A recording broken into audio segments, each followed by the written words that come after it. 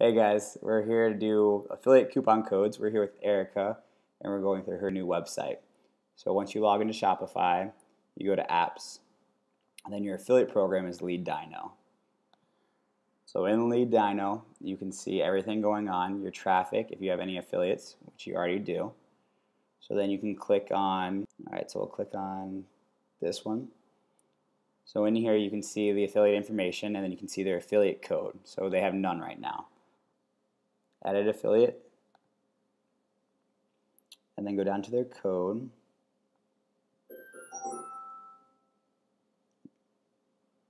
Affiliate code. What, what do you want the code to be? Mrs.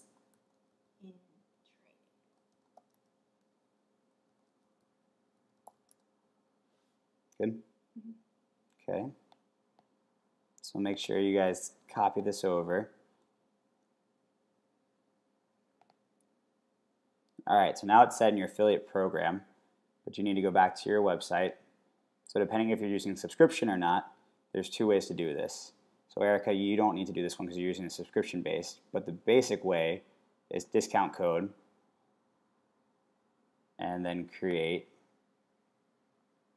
and then you just create your code right here with whatever percent you want. So if you're doing e-commerce and you have a product, you could do it right here. But Erica has a subscription base, so we're going to scar this. We're going to go to back to our apps. Now you want to go to your recurring payment program. All right, so we logged in. This is the code, the different programs I was talking about. See how the fees get lower.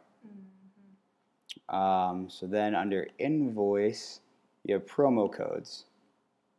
So here you can create your first code. Then you can just copy and paste your your code. Maybe. Nope. So what was it? Miss in training. Right? Mm-hmm. All right, so now do you want this code to be once, repeating, or forever? So basically, if it's forever, the affiliate will get paid every time this purchase is made through. And if there's a discount tied to this, they'll get the discount. So this will be a link. Is this a link or a coupon code? This is a coupon code. So when someone goes to my website, they can use this code. for Right. So this, off. this affiliate can use this code, not even for a percentage off. Um, this can also, if you don't want to use the links, you can just use the codes because sometimes links can be used for spamming or there, there'll be errors if someone uses one browser versus the other or phone versus the other. So this way you guarantee your affiliate gets credit. It's safest to use a It, code. it's safest to use a code. I, okay. I prefer using codes. The links work, but sometimes people will say there's a purchase that doesn't go through, and that's just because if you fi- click on the link on your phone, it's not going to know that you clicked on it on the browser. Yeah. Okay. Yep. And we can use Um, forever, So this will be forever. So amount off, you want to do. So you could also do no amount off. You could do zero. So then your code just is a code. Oh, okay. So let's do. What was yours? Ten percent. Yeah. Ten amount of percent. So ten. Oops.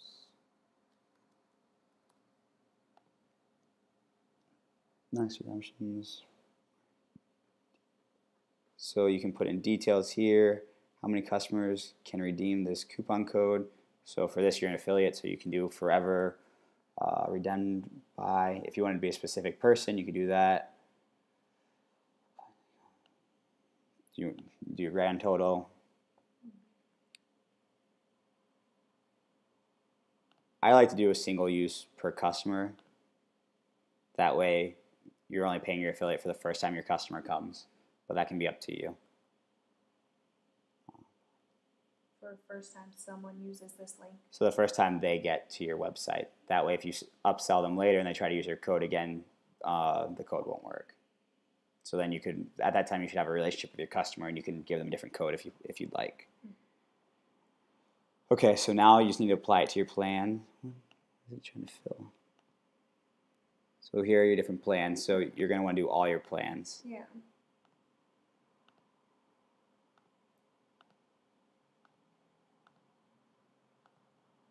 and then create promo. And that's it. So now when they check out using this code, they should get 10% off. So can so you clicked into Mrs. in Training and created this. I can't create a code that anyone can use. Does it have to be well no because it's No, you can create a code that anyone can use. So first off, let's make this. You wanted five percent discount to the customer, correct? ten percent discount. Well, To you know, you want ten percent being paid to your affiliate. correct. So you only want this to be five percent. So five percent would be So like if I'm your cu- if I'm your no no no if I'm your customer, what am I getting off if I use the code? Nothing, or five percent. five percent. Okay, so unfortunately, there's no edit that I know of. So we're gonna have to delete this, This is if I didn't want the 10%. ten percent. So- okay. Good practice. We'll just create code again.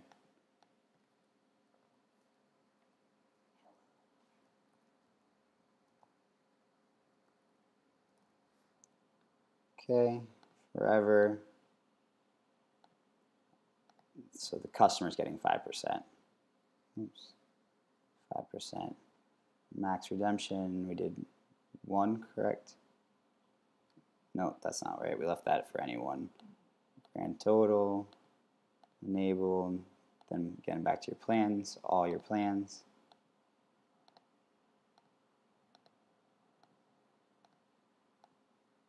Then create.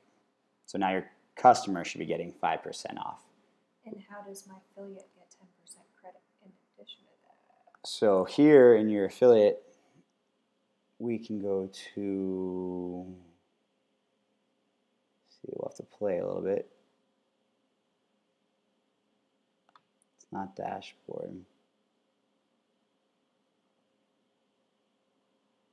Traffic commissions. Here we go. So right now, here's your affiliate program. You only have one layer set up, so you can just edit it. You had it at 15, and now it's going to be 10. So payment for purchase. Payment is made monthly. Uh, purchase is on percent. And then for affiliate type. So if you were going to do a multi-layer or get a little bit fancy with your affiliate program, you could do that here. But right now you're just going to do all affiliates. So save payments. And you're good. So the customer will get five percent off and they'll get ten percent, so And- that'll be fifteen percent total taken from. Right. So so your affiliate gets 10%, your customer gets 5%, so total 15% off your package. Okay. But I can create codes that only give the affiliate their credit. Right. That's if I don't create a discount. So you can create a code that would only give the affiliate their credit. Also, That's what we did the first time. Yep. So you can go into your, let's go to your dashboard. So we can go into your affiliate, and then they have their custom dashboard here. So if you click here, this is basically what your affiliate would see. So now you, they can see their code right there, and then this is their current referral link. Um, we haven't set up short links yet, but we should probably do that right now. Your referral link. So right now they'd have to use this link, and that's how they'd get paid. But if we go back in here, we can go to settings, hopefully. Yeah.